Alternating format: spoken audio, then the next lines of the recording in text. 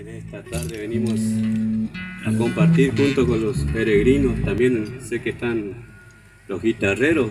Bueno, en breve seguramente vamos a estar escuchando los hermanos guitarreros también.